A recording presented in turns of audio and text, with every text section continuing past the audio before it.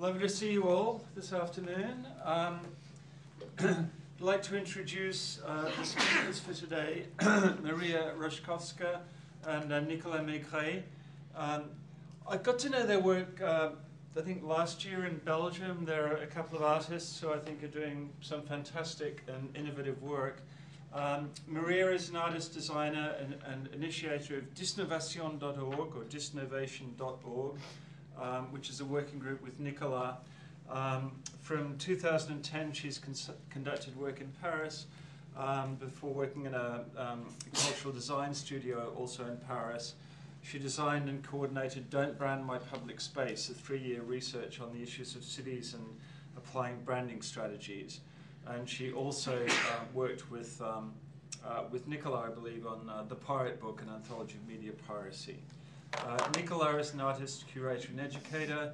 He works on the internal workings of media through an exploration of these dysfunctions, um, limitations or failure thresholds, which he uh, develops into immersive, ambiguous, and critical art networks, uh, artworks. Uh, he in innovated disnovation.org, a working group which aims to, love this, disrupt, pervert, and complexify the narratives on collective, on uh, technological innovation. I just wanted to hand out, because it's one of the things that, that, that, I first got aware of with them was this wonderful series of volumes called Blacklists, um, which is basically uh, a printed list of, of banned websites. Um, and, you know, first of all, I love the fact that it, it's in a series of books. Each book is, uh, I think, 666 pages long, which is the number, which is the uh, number of the beast. Um, and if you read through the books, I mean, you think it's just going to be a boring set of websites, but it's like reading the yellow pages or reading, reading a telephone directory. You can learn a hell of a lot just by reading through this incredibly abstruse list. Um, so I think what they do is, you know, their work is playful, it's disruptive, and it's really, really interesting at the same time. So what they're going to do is talk about their current work today, and then they're going to segue a little bit because they're going to be here with us for a few months. So they're consider them a resource as well as speakers. They're going to be here with us, working with us for a few months, and they're going to describe what they're going to be working on um, over the next few months here in Irvine. So please welcome Nicolas and Maria.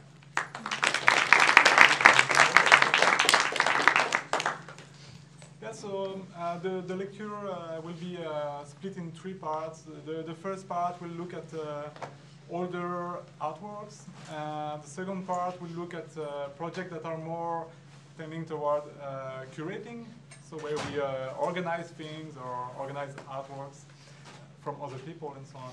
And the last part will look at the research we want to conduct here. so Maria will introduce Yes, I will uh, make a general introduction. Uh, thank you very much for introduction and for inviting us. And uh, so we are Disnovation. We are based in Paris.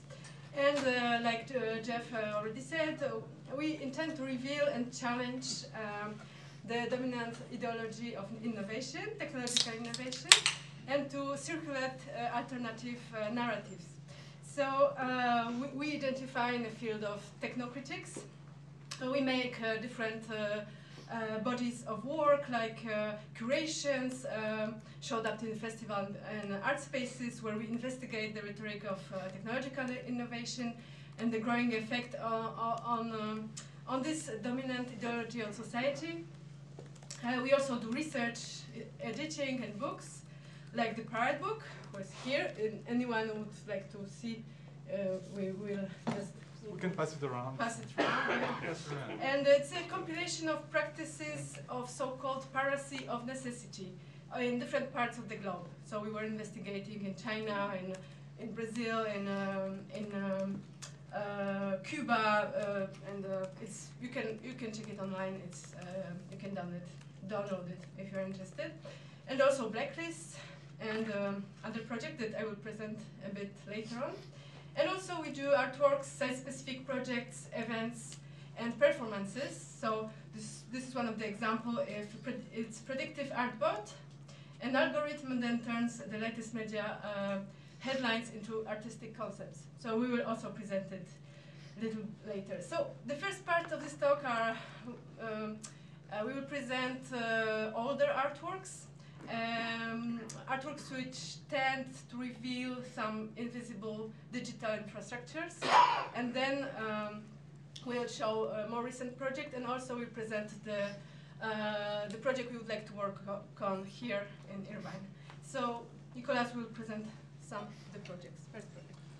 Okay, so yeah, we basically for more than 10 years uh, we've been interested in uh, the, the how the, the infrastructures of um, the digital uh, shift uh, is uh, somehow uh, invisibilized around us, so it's very hard to, uh, to make sense of um, uh, the, the impact it has on us and also uh, the materiality of digital um, infrastructures, or, tools, but also language. Um, I will explain what, what this project is about. So basically, data is physical in many ways. Uh, the, the production of hardware obviously is physical. Uh, the hard drive uh, you have on your computer, the servers, but also the, all the maintenance of the infrastructure is uh, uh, physical, obviously. But even at, at the microscopic level, at the level of the data bits, it's also anything. Um, sorry, it's also uh, purely physical. So uh, at the microscopic scale, uh, as you can see here, it's a magnetic uh, microscopy of an hard drive. You you have actual charges of uh, magnetic uh, bits uh, that are physically present on the hard drive, but that most of the time we can't see without a microscope. So we, we did this project um, in the early 2000, which is basically uh, a simple program that um, helps us to, to materialize or to get a sense of uh, the, uh, the data that surrounds us. So it's a program that simply uh, reads anything on, on an hard drive. It can be on a local hard drive or on a server, and sends the flow of data directly to the sound card and the graphic card of your computer. So it's, it's very simple. It's a, a low-level uh, sort of uh, program, but it, it, has a lot of interesting uh, qualities and uh, results. So basically, it materializes, um, you know, like uh, through that you can uh, get a sense of the the compressions, the, the structures of the, the, the files, uh, the types of file, the, the languages, uh, but also how they are organized on your drive and so on. So I will play a, a short uh, excerpt of this uh, first project.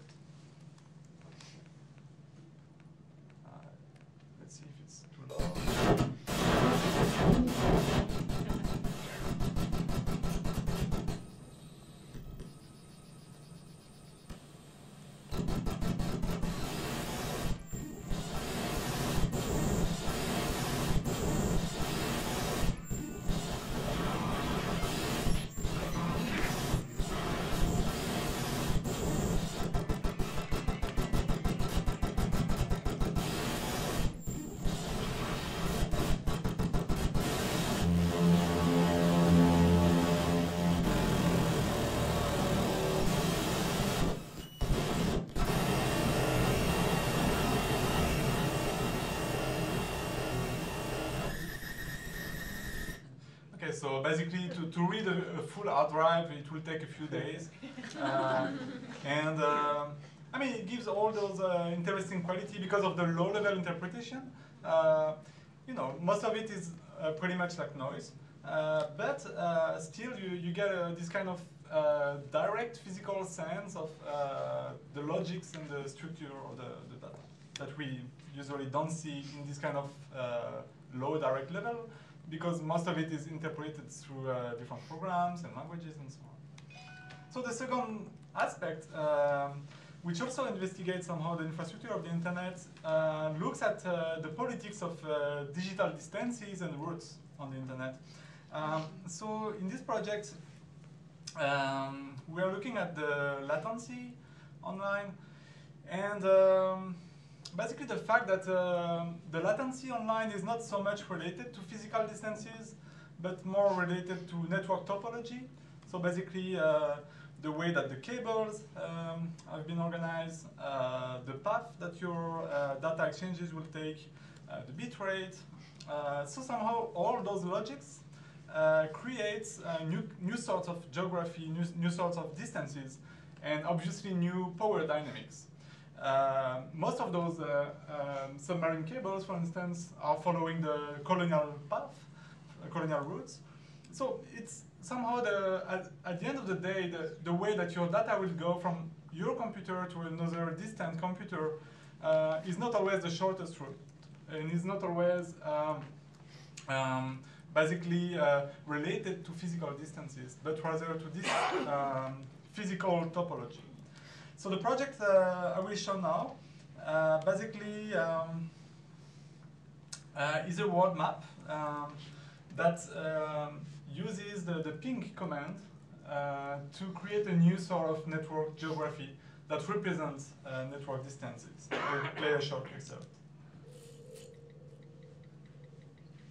PingMap is a world map that uses network access time as its unit of measure.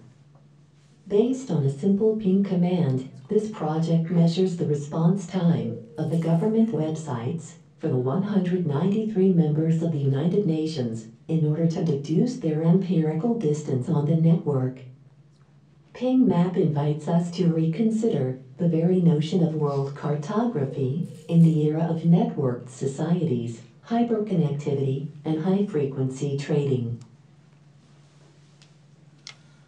So this is also a pretty old project, but um, uh, still it's a way to sense uh, or to materialize uh, logics that are usually hidden or hard to, to grasp. Um, the, the last example in this series of um, uh, is still investigating uh, internet infrastructure, uh, but here more about the, the consequences of the internet infrastructure on the data flow. So basically, uh, this project was a, little bit against this idea that uh, network streams are linear, uh, continuous, transparent.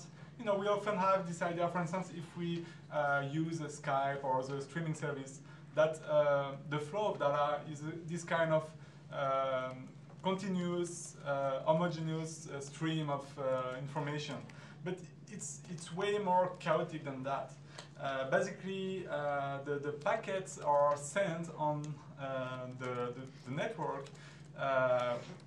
little bits by little bits, and each packet takes a route which is the supposed as the best one at this uh, given moment. So all the packets are taking different routes, and uh, potentially some, some will be lost, some will be corrupted, uh, some will have to be sent again, uh, and as a, as a client, you will receive the packets in a, um, uh, also in a chaotic order. It means that the packet number one might arrive after the packet number two, you might miss some packets that you will ask again and so on. So it's, it's way more material and way more, um, um, yeah, like um, way more organic than uh, we can imagine uh, as a usual uh, customer.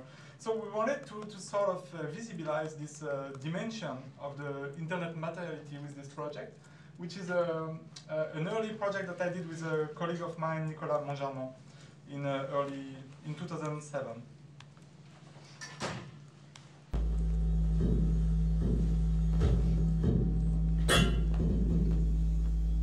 So basically, basically what's going on here is that a continuous tone um, is sent uh, from a server in Japan uh, to the exhibition space.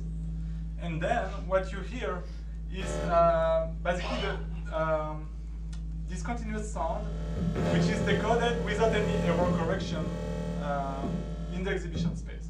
So basically you remove all the usual error correction uh, that you normally have in a streaming uh, exchanges.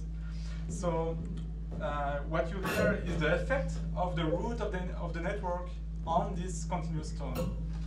And the visual is uh, just what's called a spectrogram, uh, so it's a 3D spe spectrogram of uh, the sounds that have been created by the, um, the transmission of this sound and the routes on the network.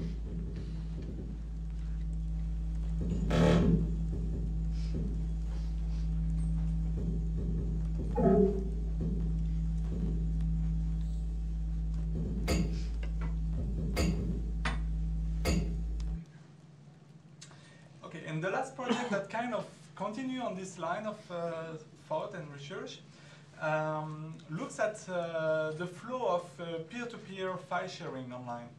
So this project aims to, to offer an experience of peer-to-peer sharing, uh, file sharing, um, and the logic of the packets as they are exchanged between peers. I will start with a, a short video introduction. Violate copyright laws, often without being aware that they're doing so. Detect when copyrighted content is being shared illegally. They can identify the Internet Protocol or IP address of the computer making the file available and the Internet Service Provider or ISP that is associated with that address.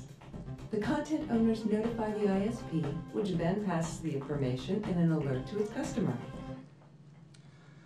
Okay, so uh, file sharing uh, has been around um, since a long time, and um, since the early 2000s, basically, it's been uh, highly popularized.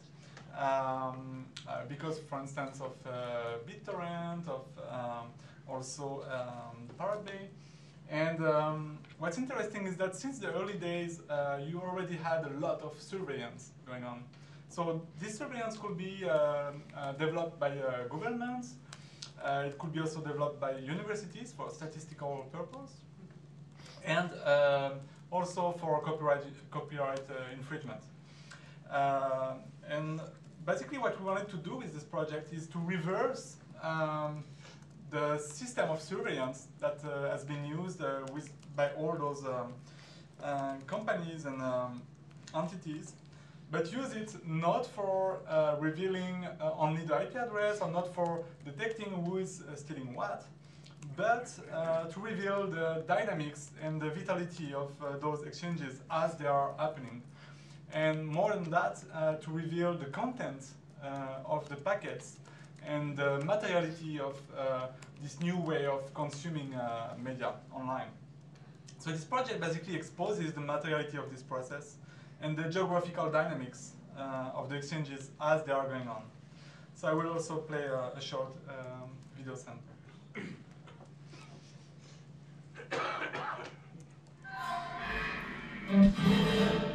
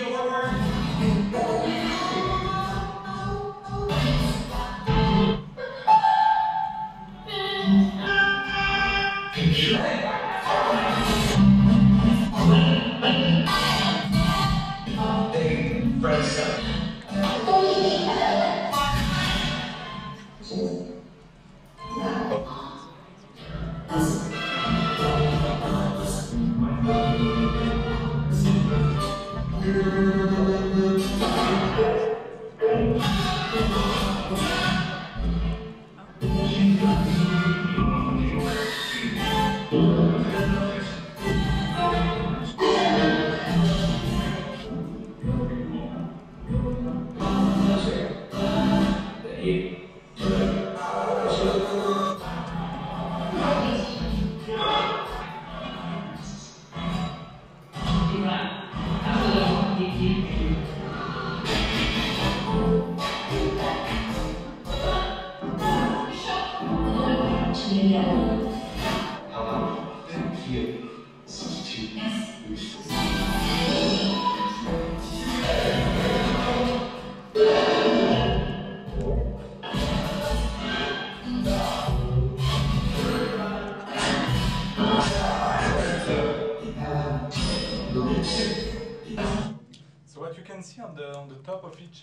fragment uh, is the IP address of uh, the peer that is sending the packet and the peer that receives the packet, which kind of gives uh, this sort of geographical representation of the exchanges as they are going on.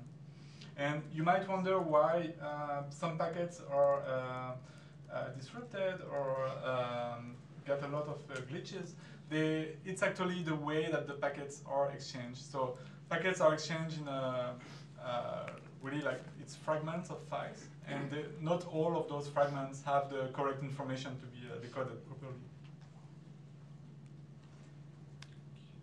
Okay, the next project will be presented by Maria. Yeah, it was already presented quickly in the beginning, the blacklist. So uh, it's a project about illicit content on the web and uh, the politics of search. Um, so we got uh, interested in who controls uh, and um, and decides what should be visible online or not, what should be blocked or not, uh, what are the rules, how these lists of undesirable contents are built and how are, are, are used and uh, how this is somehow revealing the value system we live in. Uh, it usually takes shape of a commercial list you can just buy. Um, commercial black, blacklist services, uh, there is some uh, companies doing it or universities. Um, in uh, nowadays, um, the, the, this can this kind of list can be blocked. Um, that can be blocked uh, are organized in categories. So if you are a system administrator, you can decide what kind of uh, contents you want to block. Um, so it can be used by uh, towns, universities, airports, companies, private companies, individuals, uh, and so on. And it um, helps to uh, restrict very specific content on, on their network. So um, so there, there can be different kinds of things. Like for example, here we can see Chanology, so all the uh, websites like 4chan and 8chan. Uh, there is also feminist. Uh, feminism, uh, it reveals the commercial aspect of this list because you can um, you can um, order, you can uh, demand specific content to be blocked, and then the company can prepare the, the list of links to be blocked. blocked. So um, we just uh, simply um, uh, organize these uh, these links in um, in uh, like a like a paper encyclopedia in in alphabetic order, 13 books, and you can just look at it like a. Uh, reading also kind of uh, poem because names are quite close from one from each other, so it's quite interesting to read it, to zoom in, and uh, it's a kind of ready-made moral portrait of the web. Blacklists is a directory of the prohibitions of the Internet, deployed in the form of an encyclopedia, in 13 volumes of 666 pages each. It is an extensive collection of restricted websites, used for the automatic filtering of traffic considered illicit or licentious. Just like the intent of forbidden libraries, the Blacklists project points out the sidelining of online content that could be dangerous for the very survival of the system. With around 2 million websites extracted from commercial content control softwares, this collection reveals a cultural, social, and ideological model of our society through what has been deemed unfit for consultation by specific groups and institutions around the globe.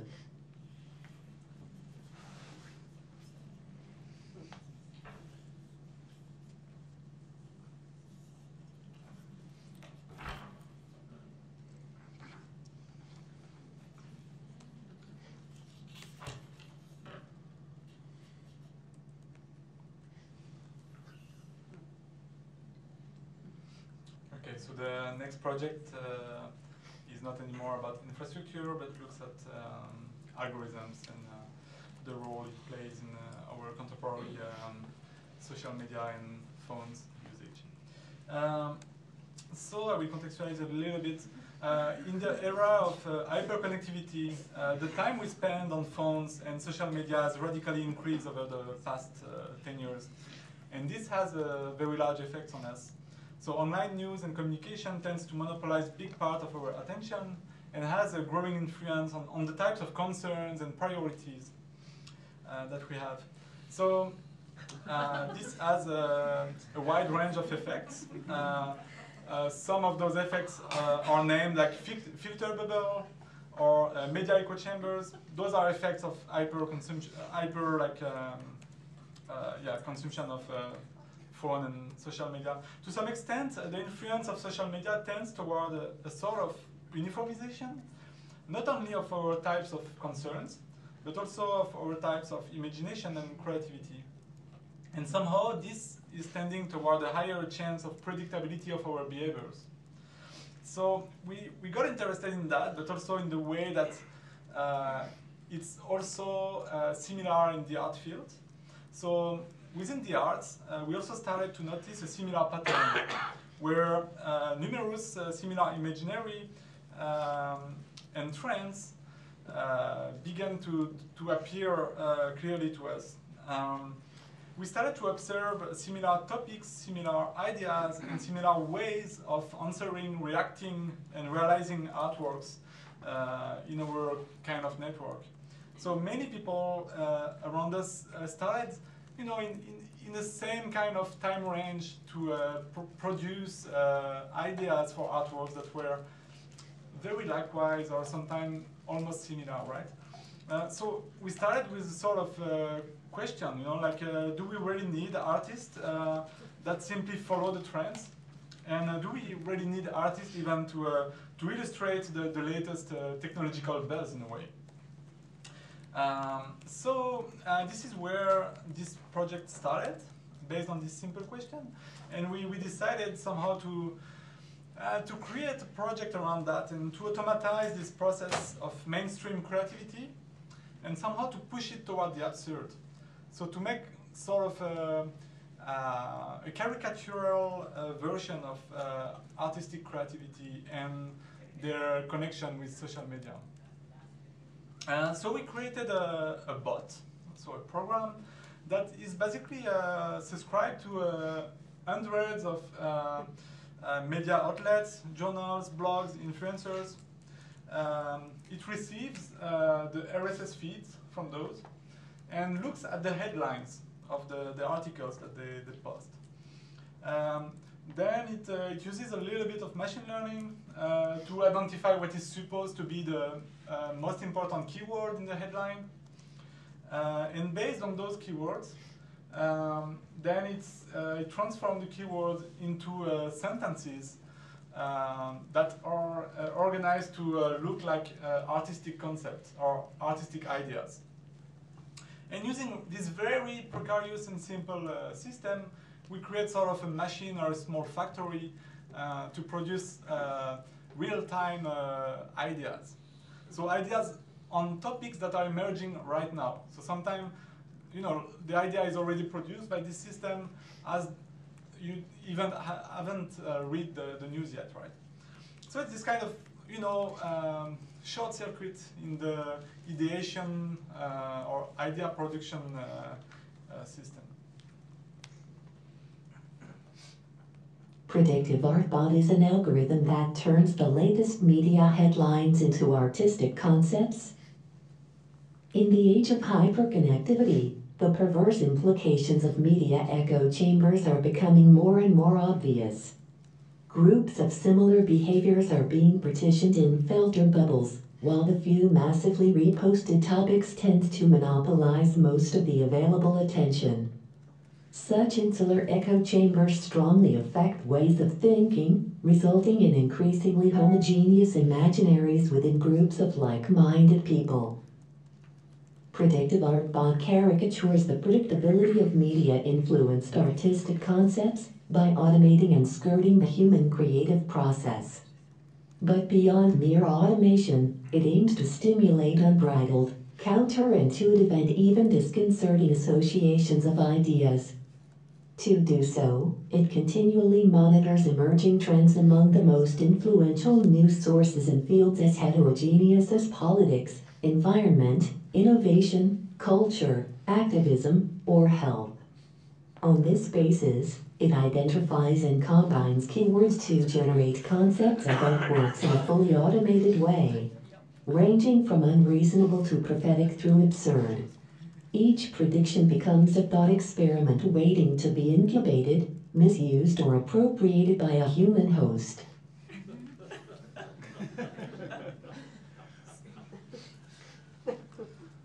so um, that's a bot uh, which is active 24/7, uh, so you can follow it uh, uh, here on predictiveartbot.com, and it also posts uh, once a while on Twitter. Um. So the next uh, project focuses on the infrastructure of uh, basically uh, user surveillance and profiling online, uh, which is also called surveillance capitalism. So under surveillance capitalism, the main econ economical model is the extraction and accumulation of data from users, but also from the physical world. You can think about uh, Google Street View, for instance, and the way that it uses and capitalizes on uh, the physical images of your city, in your house, and so on. So user profiling combines many layers of data. Uh, it can be data that are publicly available and scraped from, from the web. It can be your web searches, uh, visits, and other behaviors. It can be your activities on social media, uh, your user account, activities on your smartphone, application usage, online purchases, what you order uh, on Amazon and any other websites, uh, the activity of your smart TV or your uh, fitness tracker and so on. So this is an example of uh, the ways that uh, uh, Facebook uh, creates your user profile. So Facebook is harvesting everything you do on Facebook and outside of Facebook. and they sell this as a service.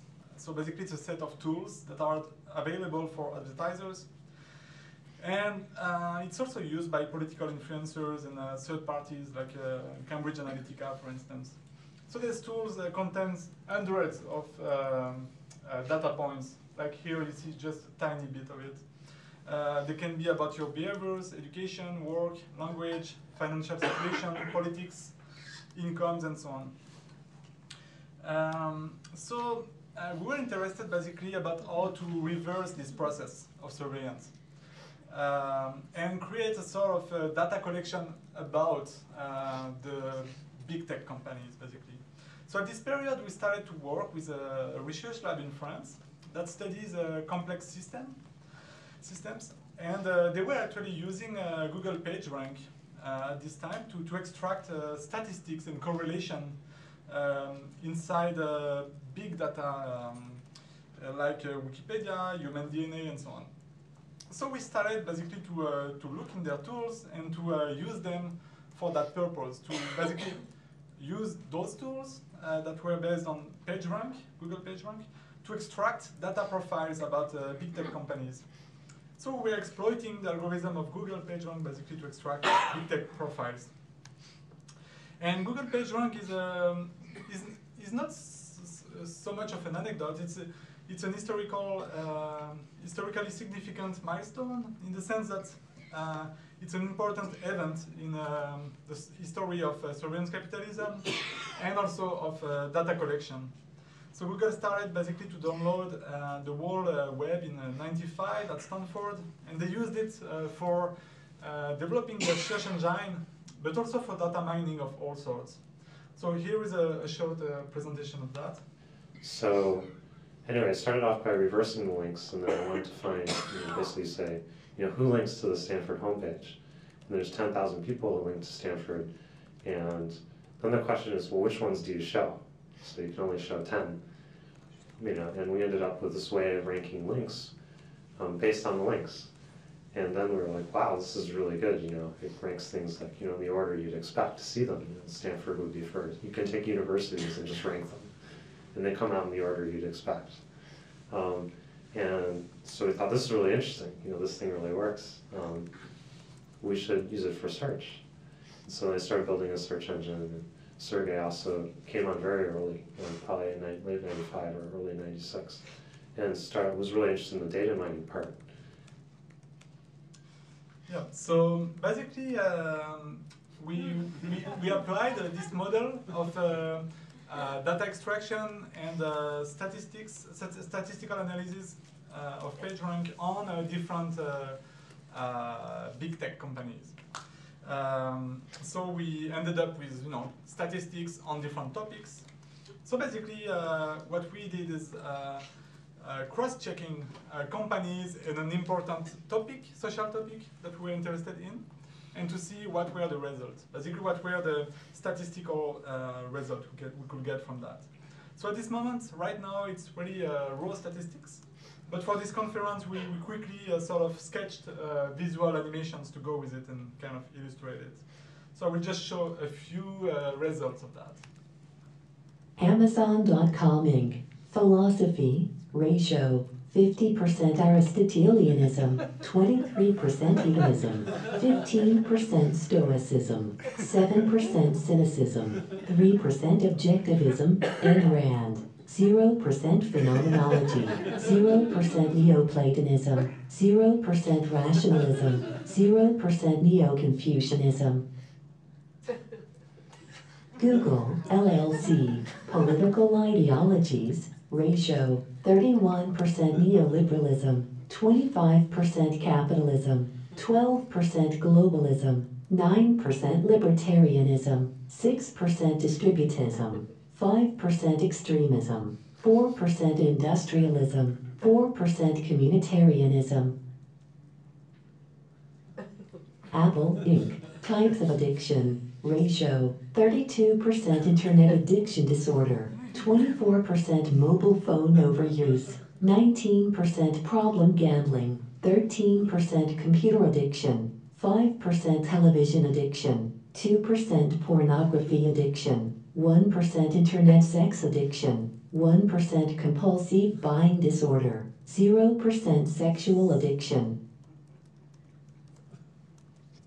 Facebook Inc. Types of colonialism, ratio 35% neocolonialism, 29% Americanization, 13% right to exist, 7% co-colonization, 5% cultural imperialism, 3% anti-imperialism, 2% cultural appropriation, 1% transculturation, 0% civilizing mission. So in the Q&A, we can maybe explain a little bit the um, uh, technical background of it. Uh, it's a bit complex, but uh, basically it's a cross-checking, and then we, just look at the statistical uh, uh, number of answer of those different um, uh, topics. Um, yeah, so we will start uh, the presentation about uh, our curatorial uh, works.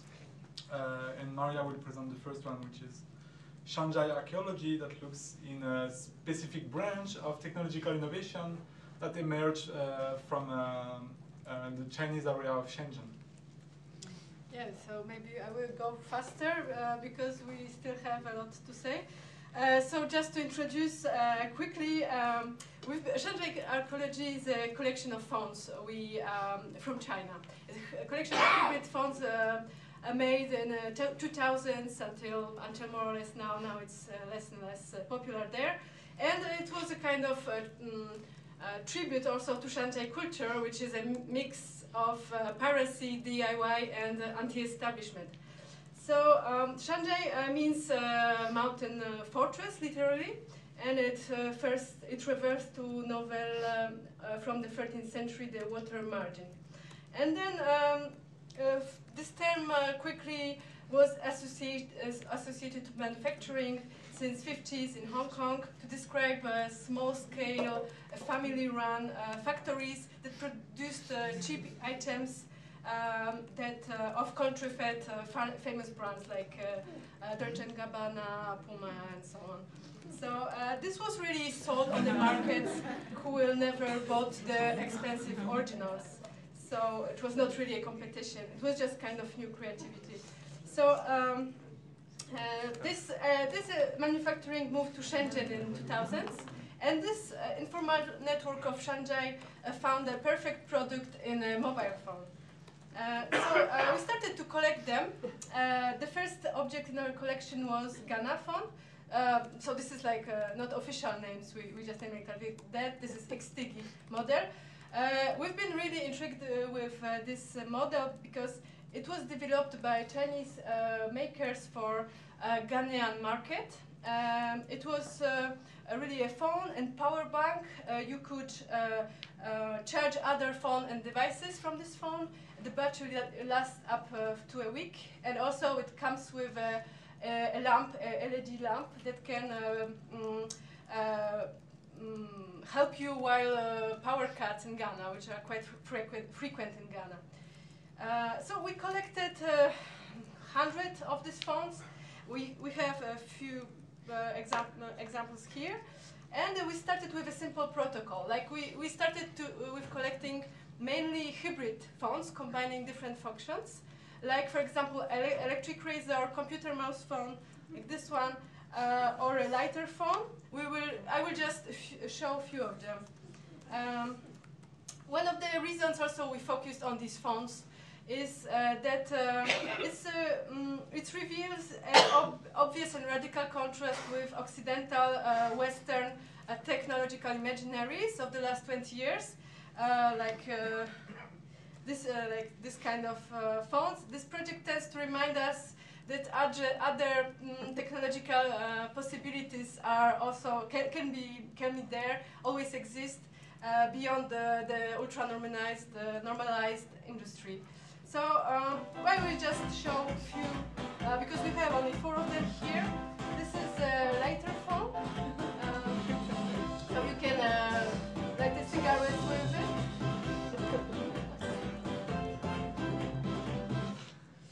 Cigarette pack phone. Uh, so um, it's a phone, but also you can put your cigarettes inside. And it also comes with a camera. هذا شكل الدخان بالكاميرا نستخدمه استخدام A razor phone, so uh, just a razor. Uh,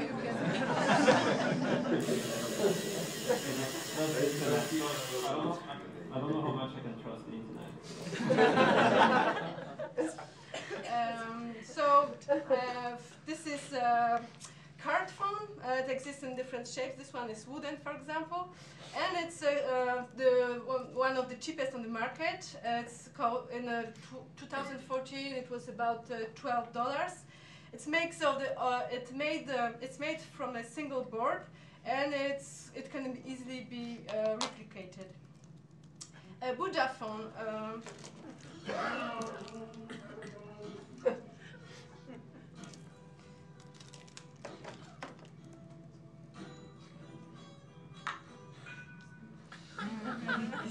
so this one is really um, um, a digital alternative for Buddhist prayer.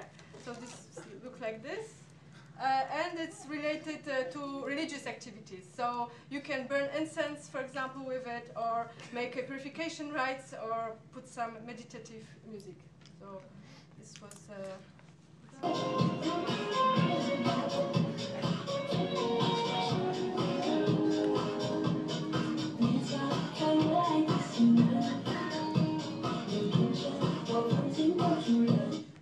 this was um, uh, one of the favorite activities of uh, of uh, the elderly in China. It's dancing in public squares, uh, sometimes in the evening.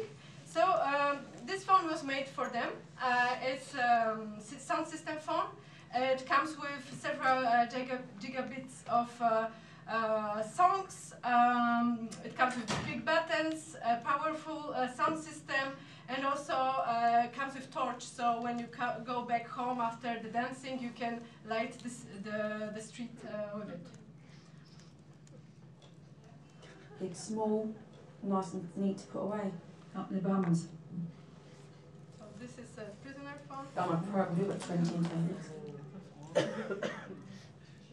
Why am I because they're available in most of the visit halls. You can't take something that might not be there because if you do, they're going to notice it different. I'd say that there's probably 75% of prisoners have phones in, in jail. I'd take that in on a person, um, places where you wouldn't get searched, the front of your trousers, in your bra, so you understood it's, uh, uh, this, this phone is uh, popular um, uh, among prisoners because of its 99% uh, plastic structure. It's barely detectable during checks in prison, and easily you can easily hide it inside food, inside the body, or using drones, or carrier pigeons, or rats.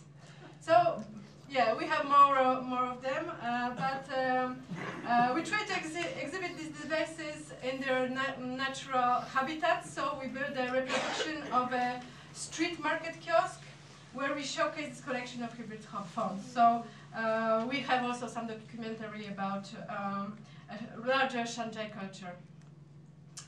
And uh, the last project, uh, quickly we present, is the Museum of Failure.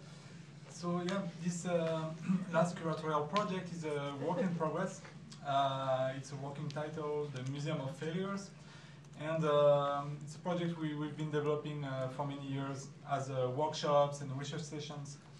Uh, I will start with a, a quote by, by Paul Virilio. This acknowledgement of powerlessness before the upsurge of unexpected, catastrophic events forces us to reverse the usual trend which exposes us to accidents and inaugurate a new kind of museology and musography.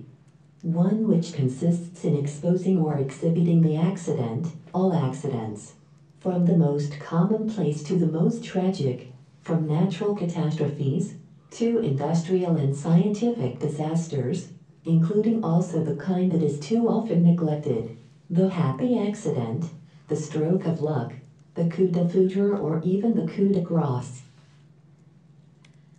So this quote uh, illustrates pretty well the starting point of this project.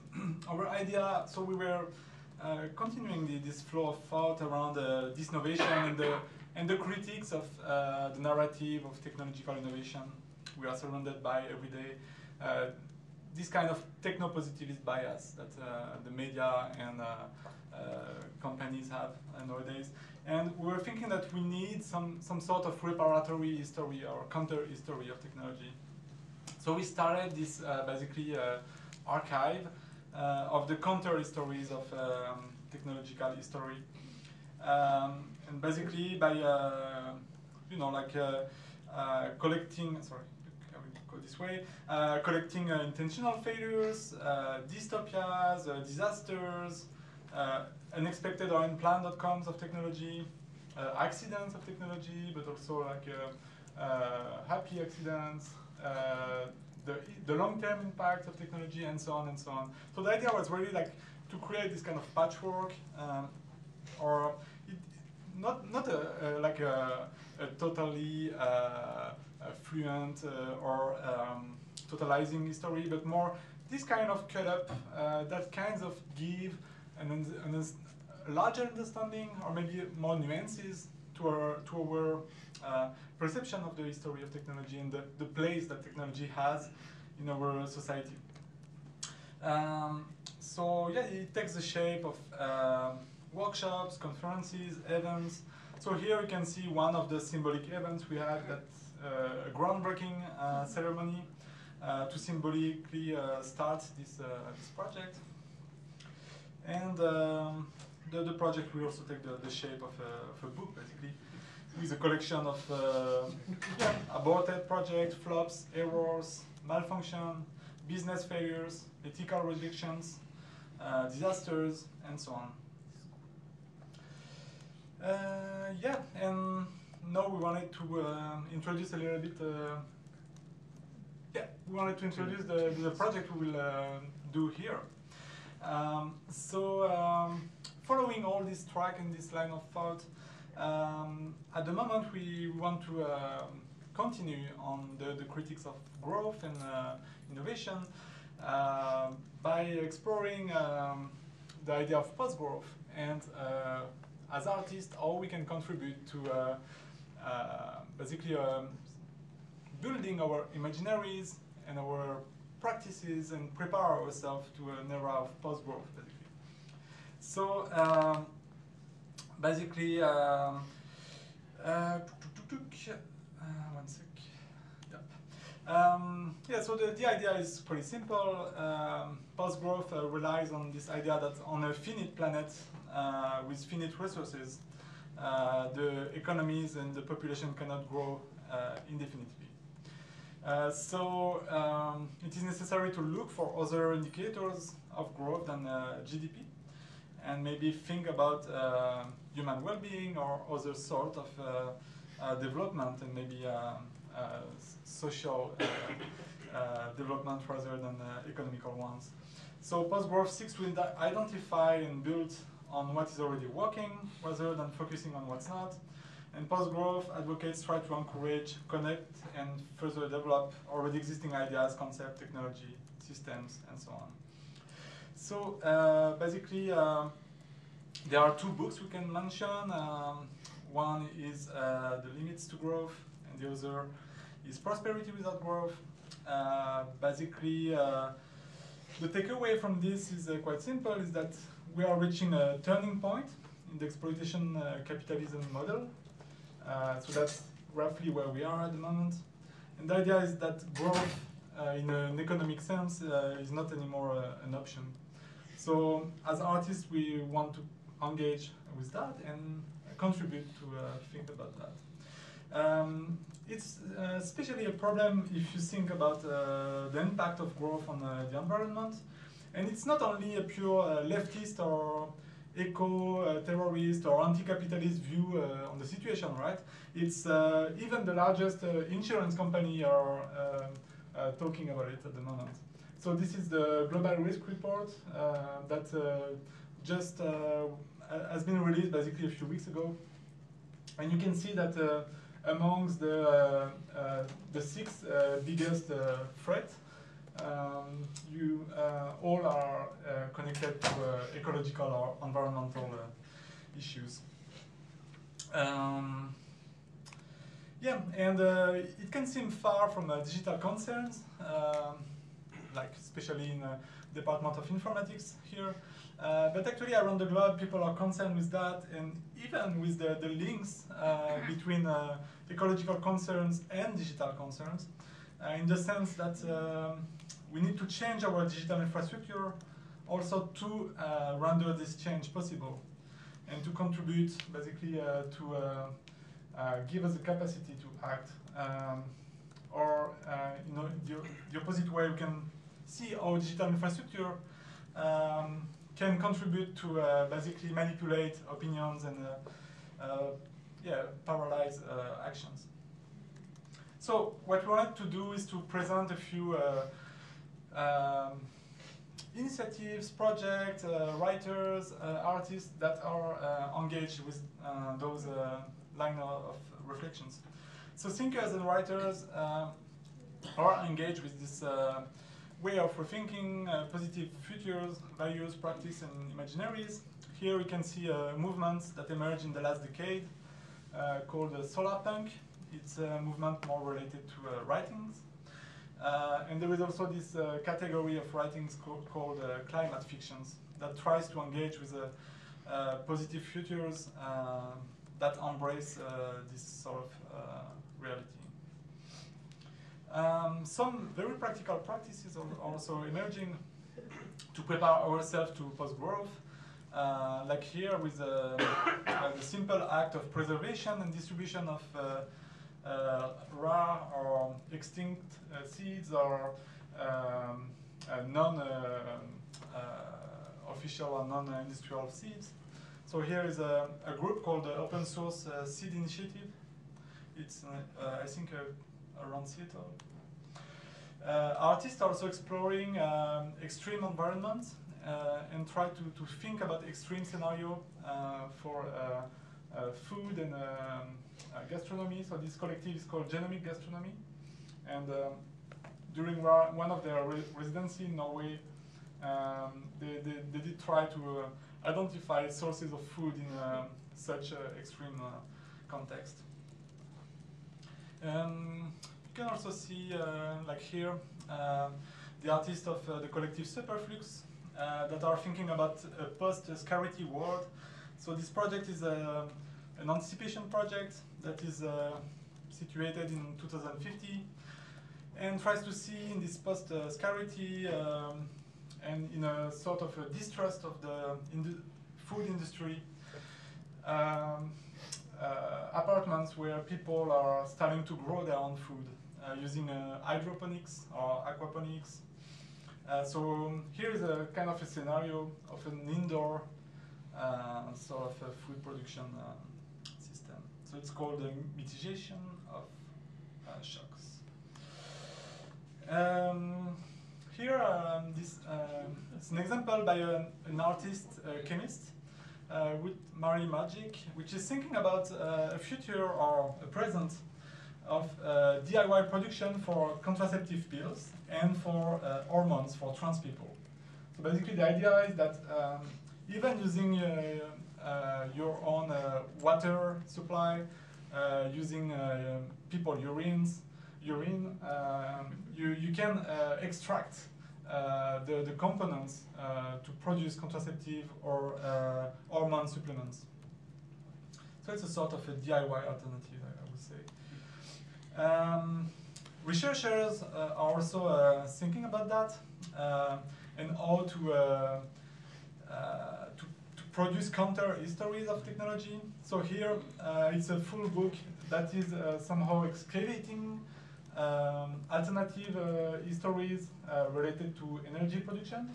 So uh, this uh, researcher has been um, collecting hundreds of patents, inventions, and prototypes that were forgotten by history, basically. So prototypes to, to produce, you know, like electric car uh, in the early uh, 20th century, or here with a prototype to, um, to have a solar-powered uh, pre- printing press, and hundreds of other anecdotes that are fascinating.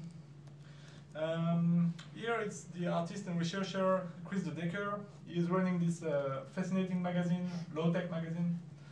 And uh, even for his own website, he has been developing a tutorial uh, for uh, basically powering your website uh, with uh, solar panels.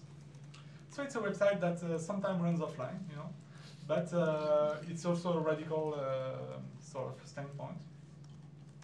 And together with another Dutch artist, uh, they've been im- imagining uh, uh, what could be a human power plant, and basically uh, using uh, uh, on the campus uh, using the the power of people uh, exercising. So uh, it's basically a sport uh, facility uh, that uh, uses the energy of people to produce electricity. And here with the, um, the artist uh, Julian Oliver, that's somehow envisioning how um, cryptocurrency could be uh, mined using wind energy and used to, to fund climate research.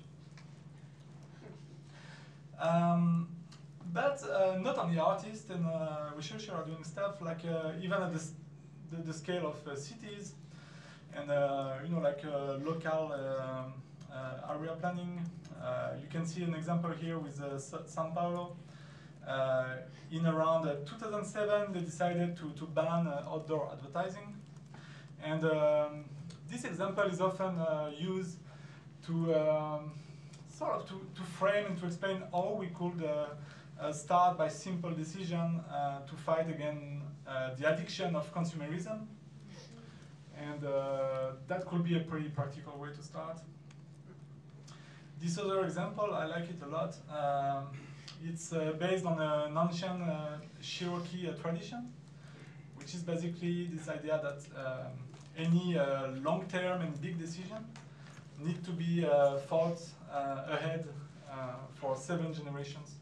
So if you have a decision to, to do that engage uh, the larger group, uh, you have to think what would be the effect of it after seven generations. And the last um, example uh, about this long-term uh, planning is with um, uh, basically a nuclear waste. And here you can see an example with Onkalo. It's a, a long-term project to uh, bury uh, nuclear waste um, in uh, Finland. And basically, it's a project that uh, is designed for 100,000 of years. So it's something which is nearly impossible to, to think about. Well, um, so what we are um, looking for uh, during our research at UCI um, are the, the following uh, uh, subjects. So basically, we would like to meet and document activities and research in uh, the following fields, like post-growth and degrowth, uh, regenerative practices, uh, resilient infrastructures and technology, radical sustainability, sustainability and circular economy, uh, works on repair, care, maintenance, Also tools for basically uh, doing a serious uh, calculation of carbon footprint, life cycle assessment and externalities. Uh, and simulation tools for uh, macroeconomy, uh, world sys- system dynamics, and so on. Um, yeah, so basically, uh, we would love to talk with you and uh, have feedbacks or contacts um, to continue this uh, research. And um, yeah, we'll be pleased to answer your questions